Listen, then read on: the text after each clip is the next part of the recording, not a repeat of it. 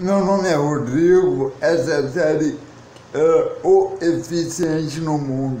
Hoje eu vou falar sobre a visão positiva de futuro. É um, foi um comentário que eu recebi no canal sobre as pessoas na favela, como elas podem uh, evoluir no meio do que não presta. Eu, vou, eu tenho uma resposta não muito, um pouco simples. O que aconteceu comigo? Eu, quando trabalhava de camelô, passava muito em frente às, às lojas, casas de Bahia.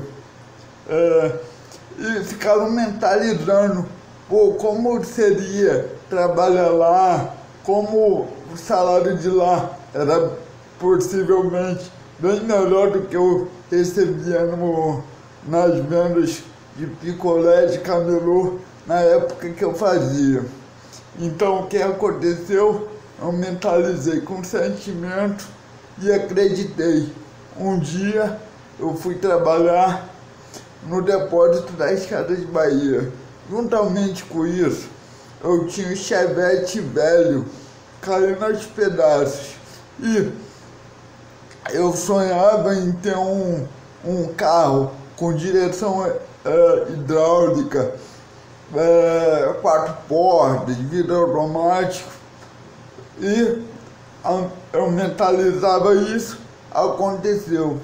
É, meu pai conhecia uma servidora é, que ganhava bem, é, tinha posse, e eu fiquei com isso na cabeça, quero ser servidor público igual essa pessoa, igual o, o meu pai. E aconteceu. E depois de muito tempo, eu fui na casa de um amigo, esse amigo morava em um condomínio. Uh, e esse condomínio tinha piscina, tinha quadra de esporte, tinha segurança ao redor. E adivinha aonde que eu moro hoje?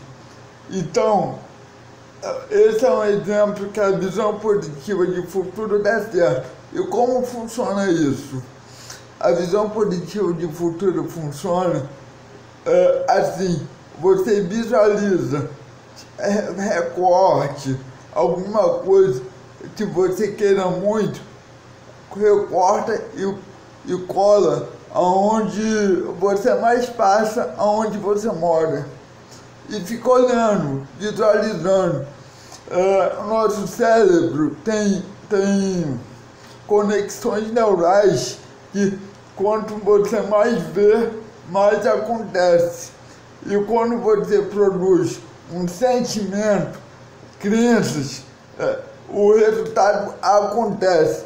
Então, é, uma dica para essa pessoa que mora em alguma comunidade que queira sair dela, se realmente quiser, é ter visão de futuro. É, planeja onde você quer morar, é, no, no local que você quer, recorta se, se é praia, se não é, se é condomínio, se é uma casa maior, cola aonde você mais passa. Então, depois que você colar, tu, todo dia mentaliza. Eu quero aquilo, eu quero aquilo. O nosso cérebro é brilhante e com certeza se você tiver planejamento, perseverança, atitude é, e crer naquilo com foco, você vai conseguir. Uma mensagem do Paulo, do Paulo Vieira, que que ele fala muito, é tudo que não temos é porque a gente não sabe como ter. Se a gente soubesse, nós teríamos.